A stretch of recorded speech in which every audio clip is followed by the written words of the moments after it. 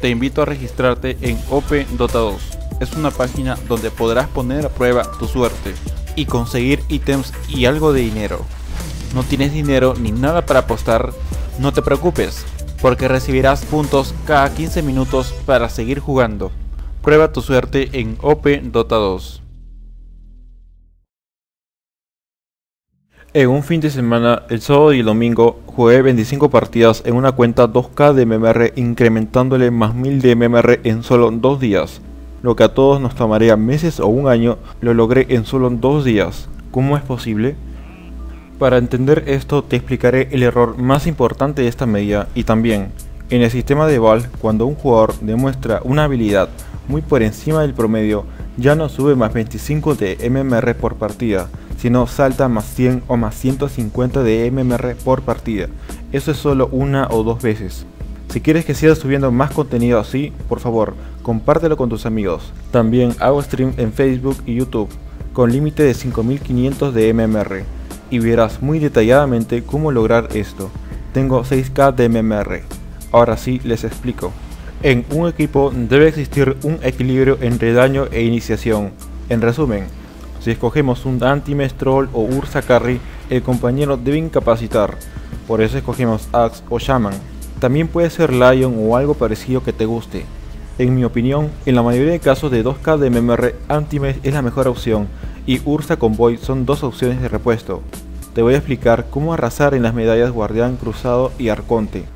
El Shaman 4 debe salir con botas y un tango, tienen que ser botas, porque en esta medida hace entry lane, necesitas mucha velocidad de movimiento, mientras que Antime sale con tangos, hoja mitigante y estadísticas. La cantidad de regeneración depende de tu habilidad con el héroe. Al ser Antime mi carry más fuerte, no se necesita mucho. La fase de líneas no es necesario enseñarles, es algo que todos ustedes pueden hacer.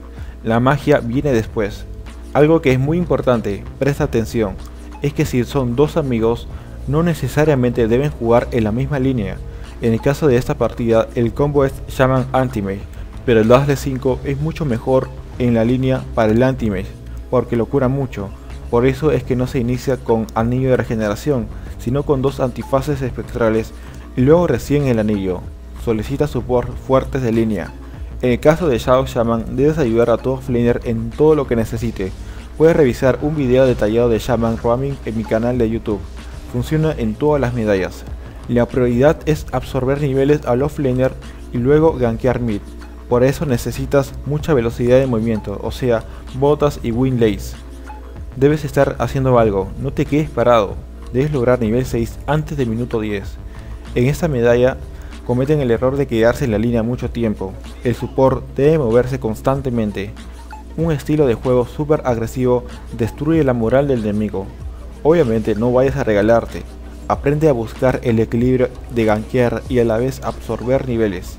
Con Antimes cómprate botas de poder antes de la Battle Fury para matar, mientras que con Shaman cómprale botas arcanas. Este combito es muy fácil de aplicar, es como un Antimes con una hoja visual muy potente aunque muy frágil. El deber de Shaman es llevarse torres con las cobras, si alguien muere déjalo morir, Tú solo dedícate a crecer. El hecho de que seas support no significa de que te quedes calato en ítems. La Fury lo consigues en un promedio de 14 minutos. A veces se consigue en 10 minutos, pero no te demores mucho. El truco de conseguir una Battle Fury rápido es pelear bien, no solo farmear mucho. El deber del Shaman es romper torres, mientras el Antimes se arma en la jungla. El Antimes también puede romper torres, pero no con tanto fanatismo como el Shaman. Los ítems del Shaman son botas arcanas, luego lo conviertes en botas de tranquilidad y lente etérea, luego sigue capa fulgurante. El Antimes también rompe torres, ten mucho cuidado al hacerlo, si no es seguro no te arriesgues y farmea en las zonas más seguras. En el 90% de los casos es Battle Fury, Manta y Mariposa, pero hay casos donde varía. Si quieres saber las variantes de Antimes para no fallar, revisa en el canal, allí hay una guía muy detallada de Antimage. En este juego ellos tienen un fuerte daño físico y mágico. Existen variantes del Shaman y en este caso es primero capa figurante por el fuerte daño mágico y después Cetro Fantasmal por el ulti de Juggernaut, que no está tan fuerte pero prefiero no darle ninguna oportunidad. Para terminar esta partida te daré mi opinión acerca de cómo veo a un jugador cruzado y arconte. No te lo tomes como algo despectivo, yo también empecé desde abajo, como todos. Bueno, Guardián y Cruzado son muy parecidos, su juego es estático, es como si fueran agua de mar, que siguen las corrientes marinas, no hacen algo sobresaliente, y los que sí logran hacerlo son los jugadores que llegan a Arconte y Leyenda. Sí puede notar una gran diferencia entre un jugador cruzado y uno Arconte.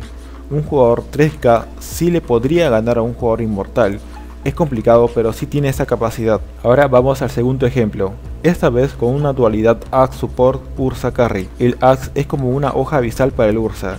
En otro video les expliqué cómo funciona el Axe Support. Sale con botas y tangos, escogiendo el primero de la set de batalla. En el caso del ursigo es tangos con hoja mitigante y unas ramitas. La tarea del Axe y la OFF es apoyar al core, en este caso al Sanking. Con tu presencia y trayendo golpes con el support haces mucho. Mira, yo no estoy en contra de las lanes, pero eso solo hazlo cuando tienes un carry como Alchemist o Spectre, y solamente durante 2 o 3 minutos. En esta medida se quedan mucho tiempo, y encima con una Weaver Carry, ese héroe no necesita Trilane. Para los que jueguen Legion, si vas contra un Ursa o algún counter, solo necesitas velocidad de movimiento y cortar la línea.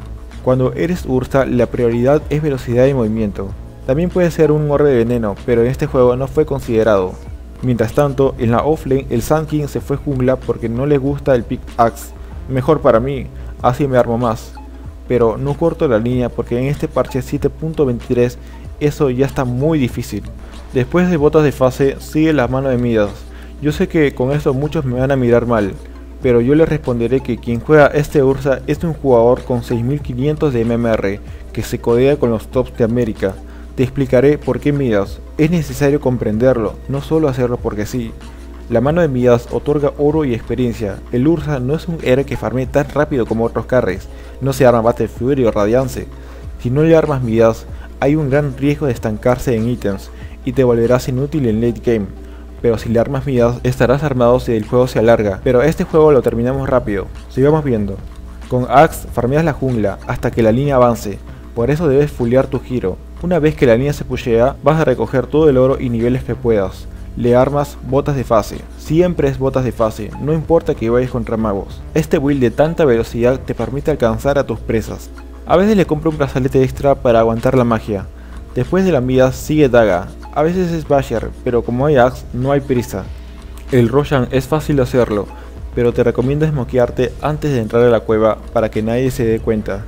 La égida del inmortal te garantiza una pelea favorable. A partir de aquí vas a jugar súper agresivo pero sin dejar de farmear. Acostúmbrate a este ritmo si es que quieres llegar a medallas más altas. Si cometes un error, la égida te hará una segunda oportunidad y la daga te permite largarte rápido haré un video detallado de Ursa en 4K de MMR. En el caso de Axe Support, el build que te recomiendo es Daga con Mayas, pero este build tiene un punto débil, no resistes la magia, porque te aumentas armadura, mas no fuerza. En Ranked Inmortal me castigan mucho por armarme así, pero igual lo sigo haciendo porque he probado el Axe de aguante con Vanguard y Pipa, sí es bueno, pero no carrea, y el Dota se gana carreando. Para cubrir ese punto débil, cómprale BKB lo más rápido posible. Pongo un cuarcito aquí, esto es porque me gusta jugar muy agresivo y no espero a que mi support 5 guarde. No porque el guard sea gratis, sino porque quiero ganar. Con Ursa no todo es pelear, no eres un Saiyajin. Hay momentos para aprovechar más las midas y asegurar ítems. En este caso la BKB es prioridad porque Yakiro molesta mucho. El Basher y la hoja visual se compra cuando no tienes iniciadores, pero hay excepciones. Con Ursa siempre es Basher. El orden es variable, pero siempre necesitas Basher. Otra de las diferencias, si ustedes se fijan bien, en las clases del profe o del comandante por ejemplo, ellos pelean muy bien, pero ¿eso qué significa? Es muy fácil de explicar. En una pelea no debes pegarle al primero que ves. En este juego, mi pickaxe tiene dos prioridades, el troll y la weaver. Los demás son secundarios. Fíjate que retrocedo mientras el Ursa recibe el ataque, no lo ayudo hasta que un enemigo de alta prioridad se expone. Como puedes ver, es un concepto muy fácil de aplicar, y es la razón por la que debes aprender a jugar iniciadores. No es la única manera, pero sí la más rápida para subir el MMR. Para concluir esta partida, en este caso de Ursa hay dos variantes principales, Basher con BKB o si no hoja avisal y luego BKB. Como esta es una partida fácil, se decide por avisal para asegurar el kill luego recién BKB. Esta partida y la mayoría se terminan en 25 o 30 minutos. No hay necesidad de mandarte un Dota de una hora, no es necesario. El hecho de que seas un Antimes con Battle Fury o un Ursa con Midas no te obliga a farmear los 6 ítems. Cada error que el enemigo cometa, castígalo, y así escalarás muy rápido.